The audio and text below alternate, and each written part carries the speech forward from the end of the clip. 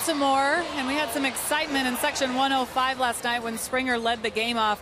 Fouled a ball that went off the facade and landed in the fryer of a funnel cake stand. And you're seeing the big promotion that the Astros are doing starting tonight with those funnel cake. Doesn't that look beautiful? I've got one live here. Chef Dominic's with me.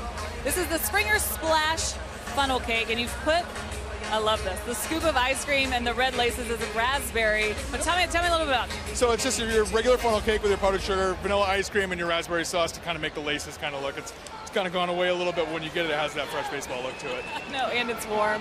It's it's still beautiful. I'm sure it's still wonderful. They're going to sell it throughout this homestand. It's almost over. So get here, get one of these. Uh, it's so much fun. The grease ball, right? Uh, Guys. Great promotion.